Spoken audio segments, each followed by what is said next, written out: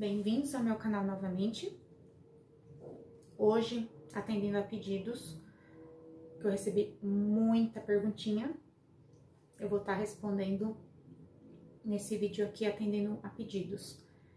Então, eu vou estar falando sobre como que funciona o cadastro para você que tem familiar preso, para poder fazer a reunião virtual. Então, fica comigo até o final, que eu vou estar te explicando. Recadinhos. Tem muita gente me procurando pelo WhatsApp eu não estou dando conta de tanta mensagem. Então, tô pedindo para vocês centralizar suas dúvidas aqui nos comentários, que eu reservo um dia para estar tá respondendo, um dia, um horário, né? Tô respondendo quase todo dia. Porque a sua dúvida pode ser de outra pessoa, aí vai lendo os comentários e todo mundo se ajuda. Porque no WhatsApp pode ser que fique alguma mensagem sem ser respondida. E eu não quero deixar vocês sem resposta. Então, dúvidas relacionadas aos vídeos do YouTube, vamos deixar aqui no YouTube. Primeira coisa que você precisa saber, se seu nome está no hall de visita. Então, se tiver, você precisa fazer uma conta para você estar tá se conectando com seu familiar que está preso. Como que você vai fazer essa conta?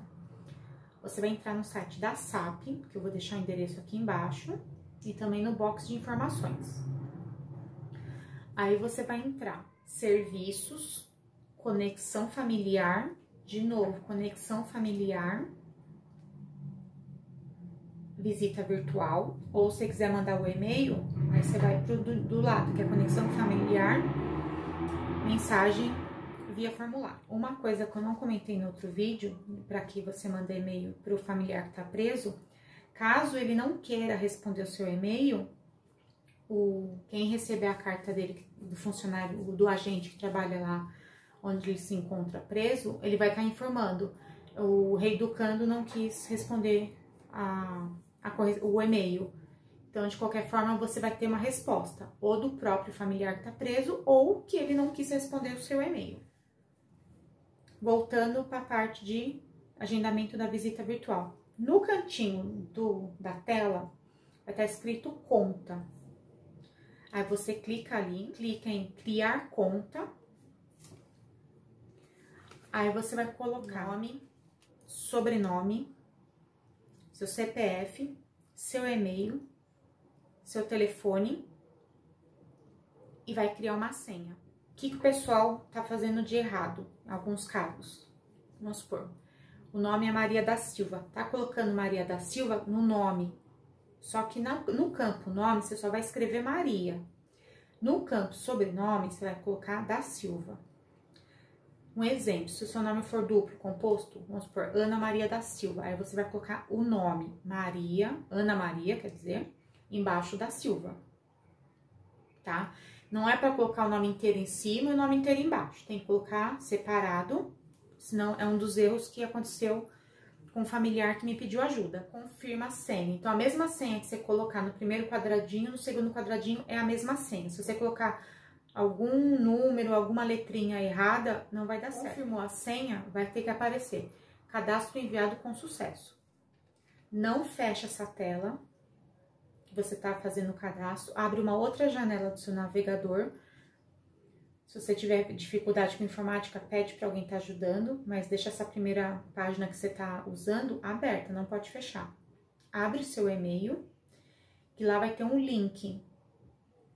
Você vai estar tá clicando nesse link, aí que vai aparecer aquele erro que eu falei para vocês, que é um erro normal, é padrão.